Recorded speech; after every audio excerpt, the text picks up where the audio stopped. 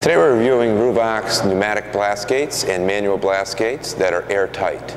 These blast gates are unique in the fact that they have a fully gasketed um, area on both sides of the blast gate that allow it to be airtight from outside air. So you won't get any leakage from the outside of the valve and you also won't get any leakage across the valve when the valve is shut. You can use these for vacuum systems up to 16 inches of mercury and be completely airtight. Now the way the blast gates work, you have two styles to pick from. You have a manual, which you would open and close manually. And you can see that uh, we can open and close that manually.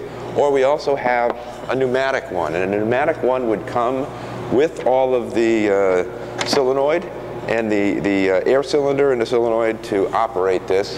And for the pneumatic part of it, we have different uh, relays that you can use, either 24 volt DC, AC, or 120 volt as well. So we make these in a uh, 2 inch diameter, 3 inch diameter, 4 inch diameter, 6 inch diameter, and 8 inch diameter.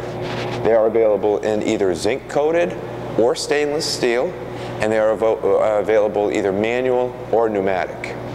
To connect the blast gates to your system on the 2 inch, 3 inch, 4 inch, and 6 inch, you're going to use a compression coupler.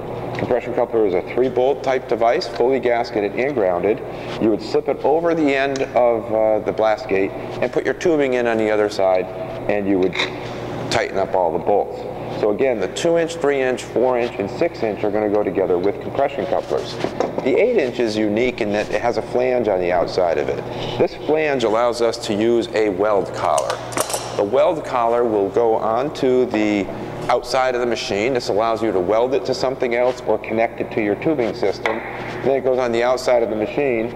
And to connect those flanges, you would use a gasket and a type of clamp like this that would go over the flange and allow you to clamp the two pieces together very easily. So that would be the type of clamp that we would use for the weld end and the 8-inch uh, coupler. Again, don't forget you're going to need these type of clamps for either side of the blast gate what you're connecting to. You cannot weld directly to the blast gate because if you tried to do that, that would, that would affect the gasket that's inside of this airtight chamber. So again, this has been a review of Ruwac's airtight blast gates for use with uh, vacuum systems up to 16 inches of mercury.